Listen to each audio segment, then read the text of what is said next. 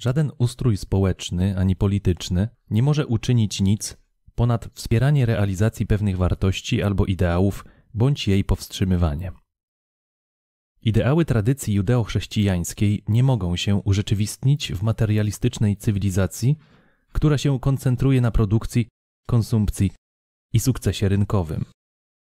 Z drugiej strony żadne społeczeństwo socjalistyczne nie będzie mogło osiągnąć braterstwa, sprawiedliwości i indywidualizmu, jeśli idee nie wypełnią ludzkich serc nowym duchem. Nie potrzebujemy nowych idei ani nowych celów duchowych. Wielcy nauczyciele ludzkości sformułowali normy zdrowego życia. Nie ma wątpliwości, mówili różnymi językami, podkreślali różne aspekty i mieli różne poglądy na pewne sprawy.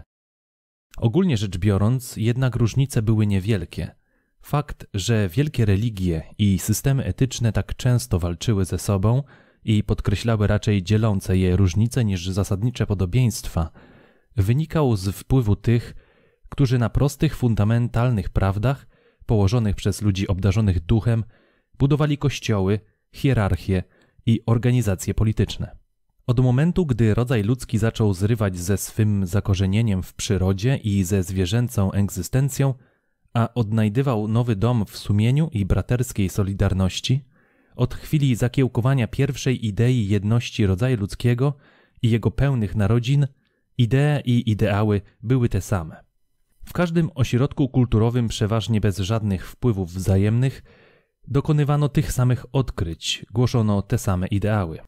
Dzisiaj my, którzy mamy łatwy dostęp do wszystkich tych idei, my bezpośredni spadkobiercy wielkich nauk humanistycznych, nie potrzebujemy nowej wiedzy o tym, jak żyć zdrowo, ale musimy, gorzka to świadomość, poważnie potraktować to, w co wierzymy, co głosimy i czego uczymy.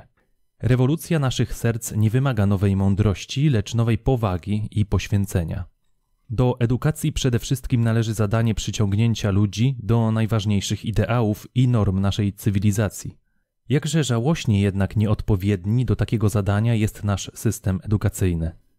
Za najważniejszy cel stawia on sobie dostarczenie jednostce wiedzy potrzebnej do tego, by funkcjonowała w społeczeństwie uprzemysłowionym i kształtowała własny charakter na pożądaną modłę. Ambitna i rywalizująca, ale współpracująca w pewnych granicach, ma żywić szacunek dla wiedzy, a zarazem być odpowiednio niezależna. Jak to ujmują niektóre opracowania, przyjazna, ale nie przywiązana głęboko do nikogo ani do niczego. Nasze szkoły średnie i college dostarczają studentom wiedzy, które muszą oni posiąść, by spełnić w praktyce zadania życiowe oraz kształtować cechy pożądane na rynku osobowości. Naprawdę w bardzo niewielkim stopniu udaje im się wyposażyć abiturientów w umiejętność krytycznego myślenia lub w cechy charakteru odpowiadające ideałom wyznawanym w naszej cywilizacji. Z pewnością nie trzeba się dłużej zatrzymywać nad tą sprawą, ani powtarzać uwag krytycznych, które tak kompetentnie formułowali Robert Hutchins i inni. Jeden tylko punkt chcę tu uwydatnić: konieczność zlikwidowania przepaści między wiedzą teoretyczną a praktyczną. Sam ten podział stanowi część alienacji pracy i myśli. Zmierza on do odseparowania teorii od praktyki i utrudnia raczej niż ułatwia jednostce znaczący udział w wykonywanej pracy. Jeśli praca ma się stać działaniem opartym na wiedzy i zrozumieniu tego, co człowiek robi, nasze metody edukacji muszą naprawdę ulec zasadniczej zmianie, tak by od samego początku nauczanie teoretyczne łączyło się z prakcą praktyczną. W przypadku ludzi młodych praktyka powinna być wtórna wobec szkolenia teoretycznego. W przypadku ludzi, którzy przekroczyli już wiek szkolny, powinno być odwrotnie. Ale w żadnym momencie rozwoju nie powinno dojść do oddzielenia od siebie tych dwóch sfer. Żaden młody człowiek nie powinien ukończyć szkoły, dopóki zadowalająco i sensownie się nie wyuczy jakiegoś rzemiosła. Żadnej edukacji podstawowej nie należy uznać za ukończoną, zanim uczeń pojmie podstawowe procesy technologiczne w naszym przemyśle. Szkoła średnia powinna z pewnością łączyć rzemiosło i nowoczesną technologię przemysłową z nauczaniem teoretycznym. O tym, że zależy nam przede wszystkim na użyteczności naszych obywateli dla machiny społecznej, a nie na ich rozwoju jako ludzi, świadczy fakt, iż edukację uważamy za niezbędną jedynie do 14-18 roku życia lub co najwyżej do 20 paru. Dlaczego społeczeństwo ma się czuć odpowiedzialne tylko za edukację dzieci, a nie za edukację wszystkich dorosłych, niezależnie od ich wieku? W rzeczywistości, jak przekonująco wykazał Alvin Johnston, wiek między 6 a 18 rokiem życia nie jest wcale tak dogodny do nauki, jak się to powszechnie przyjmuje. Oczywiście najłatwiej jest się wtedy uczyć czytania, pisania i liczenia oraz języków, bez wątpienia jednak możliwość rozumienia historii, filozofii, religii, literatury, psychologii itd. Jest w tym wczesnym okresie ograniczona i nie staje się idealna nawet koło dwudziestki, kiedy uczy się tych przedmiotów w koledżu. Żeby naprawdę zrozumieć problemy z tej dziedziny, człowiek musi niejednokrotnie dysponować znacznie większym doświadczeniem życiowym niż w wieku studenckim. Dla wielu ludzi trzydziestka lub czterdziestka to wiek znacznie odpowiedniejszy do nauki, w sensie rozumienia raczej niż zapamiętywania, niż lata szkoły albo koledżu, a często ogólne zainteresowania są też silniejsze później niż w burzliwych latach młodości. To w tym właśnie wieku człowiek powinien mieć też swobodę całkowitej zmiany zawodu, a zatem szansę podjęcia znów studiów, taką samą, jaką dziś dajemy wyłącznie ludziom młodym. Zdrowe społeczeństwo musi stwarzać możliwość edukacji ludziom dorosłym, tak jak dziś stwarza dzieciom możliwość uczęszczania do szkół. Zasada ta znajduje obecnie wyraz w mnożących się kursach dla dorosłych, ale te prywatne organizacje obejmują jedynie niewielką część populacji, a przecież zasadę tę należałoby zastosować do wszystkich. Nauka szkolna, czy to przekazywanie wiedzy, czy formowanie charakteru, to jedynie część, być może nie najważniejsza, edukacji. Słowa edukacja używam tu w jego znaczeniu literalnym i najbardziej dosłownym. Educere równe wydobywać to, co jest w człowieku. Człowiek bowiem, nawet jeśli zdobył wiedzę, wykonuje dobrze swoją pracę, jest przyzwoity, uczciwy i nie nękają go troski materialne, nie jest i nie może być usatysfakcjonowany. By czuć się w świecie u siebie, człowiek musi go pojmować nie tylko głową, lecz wszystkimi zmysłami oczami, uszami, całym ciałem. Musi ciałem wyrażać to, co myśli mózgiem. Nie można oddzielać od siebie ciała i umysłu pod tym względem ani pod żadnym innym. Jeśli człowiek pojmuje świat, jednoczy się z nim myślą, tworzy filozofię, teologię, mit i naukę. Kiedy wyraża swoje pojmowanie świata zmysłami, tworzy sztukę i obrzęd, pieśni, taniec, dramat, malarstwo, rzeźbę. Kiedy używamy słowa sztuka, jesteśmy pod wpływem sposobu jego użycia w sensie nowoczesnym, jako czegoś odrębnego od życia. Z jednej strony mamy artystę, wyspecjalizowanego zawodowca, a z drugiej zachwyconego konsumenta sztuki. Ale ten podział to zjawisko współczesne. Nie chodzi o to, że we wszystkich wielkich cywilizacjach nie było artystów. Wspaniała rzeźba egipska, grecka czy włoska była dziełem niezwykle utalentowanych artystów, którzy się specjalizowali w tej sztuce. Podobnie jak twórcy dramatu greckiego bądź muzyki, począwszy od XVII wieku. Co jednak powiemy o gotyckich katedrach, katolickim obrzędzie, indiańskim tańcu w deszczu, japońskiej sztuce układania kwiatów, tańcu ludowym, wspólnym śpiewie? Czy to sztuka? Sztuka ludowa? Nie mamy odpowiedniego słowa, ponieważ sztuka w sensie szerokim i ogólnym, jako część życia każdego człowieka, utraciła miejsce w naszym świecie. Jakim słowem możemy się zatem posłużyć? Omawiając alienację, używałem słowa obrzęd. Trudność polega tu oczywiście na tym, że niesie ono ze sobą znaczenie religijne, które umieszcza je znów w sferze specjalnej i odrębnej. Z braku lepszego słowa posłużę się wyrażeniem sztuka zbiorowa, a będzie ono znaczyło to samo co obrzęd. Reagowanie na świat wszystkimi zmysłami w sposób znaczący, umiejętnie, produktywnie, aktywnie i wspólnie. W opisie tym ważne jest słowo wspólnie, które odróżnia pojęcie sztuki zbiorowej od sztuki w sensie współczesnym. Ta ostatnia jest indywidualistyczna, zarówno jeśli chodzi o jej produkcję, jak i o konsumpcję. Sztuka zbiorowa jest wspólna. Pozwala człowiekowi czuć się jednym z innymi w sposób znaczący, bogaty, produktywny. To niedodane do życia indywidualne zajęcie w czasie wolnym to integralna część życia zaspokaja podstawową ludzką potrzebę, a jeśli potrzeba ta pozostaje niespełniona, człowiekowi nadal brakuje poczucia bezpieczeństwa i odczuwa taki sam niepokój, jak wówczas, gdy niezrealizowana jest potrzeba stworzenia znaczącego myślowego obrazu świata. By ze stanu orientacji receptywnej przejść do produktywnej, człowiek musi się odnieść do świata artystycznie, a nie tylko filozoficznie bądź naukowo. Jeśli kultura nie oferuje możliwości takiego realizowania siebie, przeciętny człowiek nie rozwinie się ponad orientację receptywną lub rynkową. Gdzie jesteśmy my? Obrzędy religijne mają już wagę niewielką, z wyjątkiem może katolików. Obrzędy świeckie prawie nie istnieją. Poza próbami imitowania obrzędów w lożach, bractwach i tym podobne, mamy kilka obrzędów patriotycznych i sportowych, które tylko w bardzo ograniczonym zakresie odwołują się do potrzeb całej osobowości. Jesteśmy kulturą konsumentów. Wchłaniamy filmy, doniesienia o zbrodniach, alkohol, rozrywkę. Nie ma aktywnego, produktywnego uczestnictwa, nie ma wspólnego, jednoczącego doświadczenia, nie ma aktywnego wyrazu dla znaczących odpowiedzi na problemy życia. Czego oczekujemy od naszego młodego pokolenia? Co mają robić, skoro nie mają szansy na znaczące wspólne działania artystyczne? Co innego mogą zrobić poza uciekaniem w picie, marzenia filmowe, przestępstwa, nerwice i szaleństwo?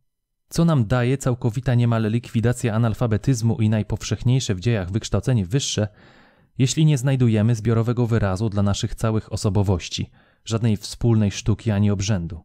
Z pewnością względnie prymitywna wioska, w której nadal się odbywają święta, wspólne działanie artystyczne wyrażające wspólne treści, a w której ludzie nie są specjalnie wykształceni, jest bardziej zaawansowana kulturowo i zdrowsza umysłowo niż nasza kultura, wykształcona, czytająca gazety i słuchająca radia.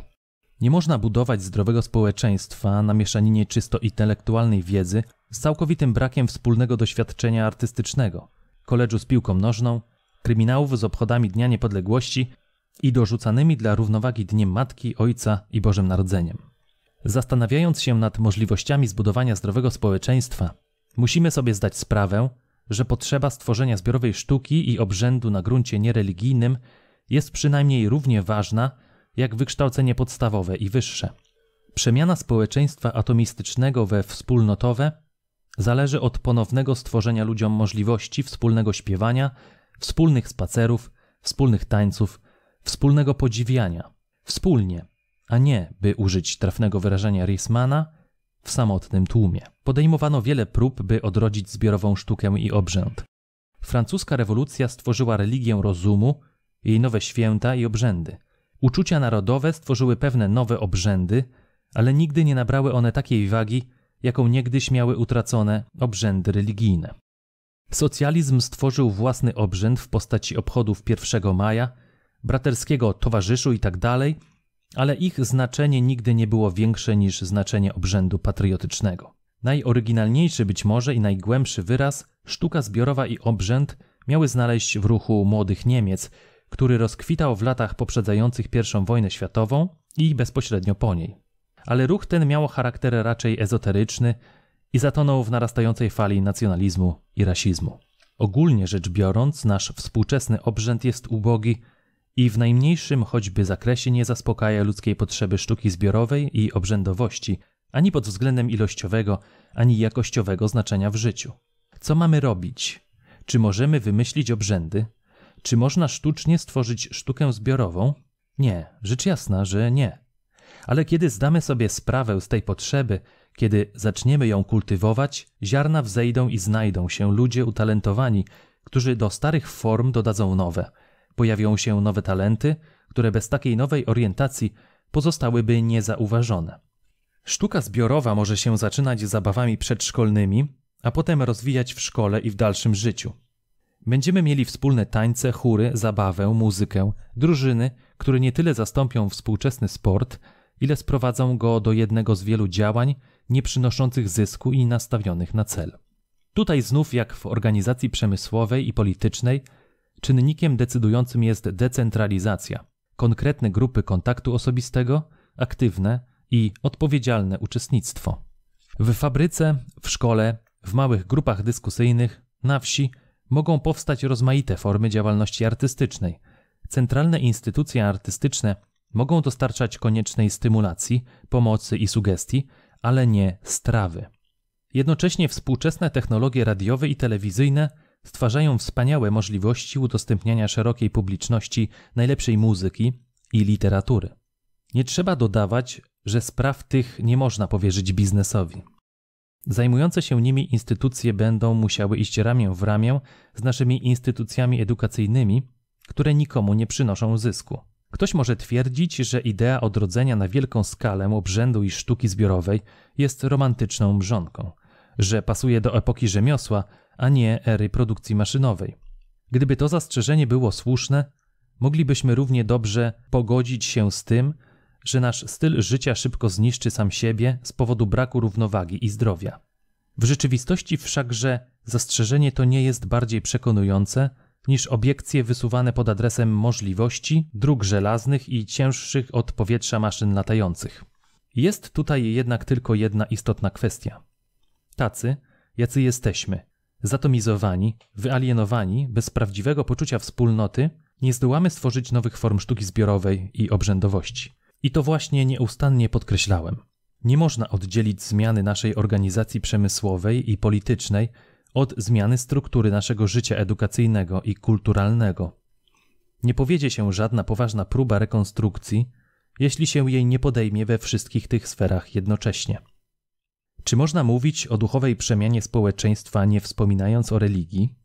Nauki wielkich religii monoteistycznych przywiązują bez wątpienia wielkie znaczenie do celów humanistycznych, tożsamych z tymi, które leżą u podstaw orientacji produktywnej.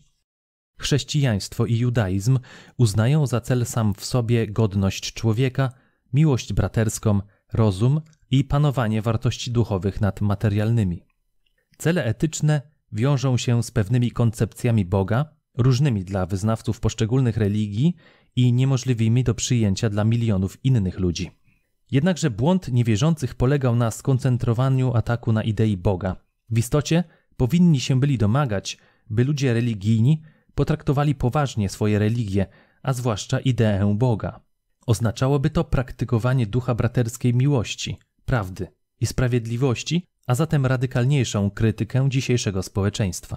Z drugiej strony, nawet ze ściśle monoteistycznego punktu widzenia, dyskutowanie o Bogu oznacza używanie Jego imienia nadaremno. O ile jednak nie możemy powiedzieć, kim jest Bóg, możemy stwierdzić, kim nie jest. Czy nie czas już zakończyć spory o Boga i zamiast tego zjednoczyć się we wspólnym zadaniu zdarcia maski ze współczesnych form bałwochwalstwa? Dziś nie jest to już Baal ani Asztarte, lecz deifikacja państwa i władzy w krajach autorytarnych oraz deifikacja maszyny i sukcesu w naszej własnej kulturze. To wszystko przenikająca alienacja, która zagraża duchowości człowieka. Czy jesteśmy ludźmi religijnymi, czy nie, czy wierzymy w konieczność stworzenia nowej religii, czy kontynuację tradycji judeo-chrześcijańskiej, w tej mierze, w jakiej ważna jest dla nas istota, a nie powłoka, doświadczenie, a nie słowo, człowiek, a nie instytucja, możemy się zjednoczyć w stanowczym odrzuceniu bałwochwalstwa i w ten sposób znaleźć może więcej wspólnej wiary niż w pozytywnych wypowiedziach o Bogu.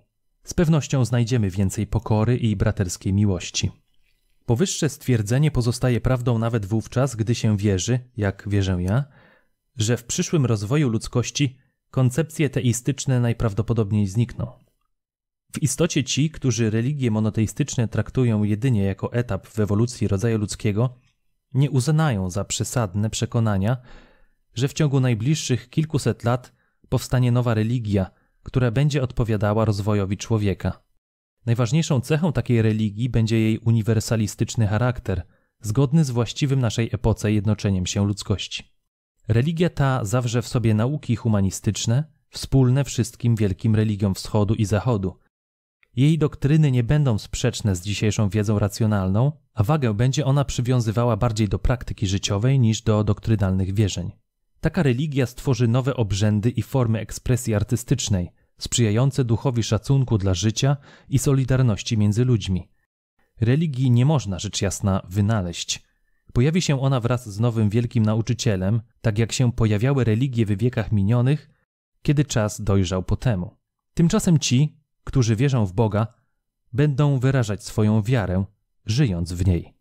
Ci, którzy w Boga nie wierzą, będą żyć wedle przykazań miłości i sprawiedliwości i czekać.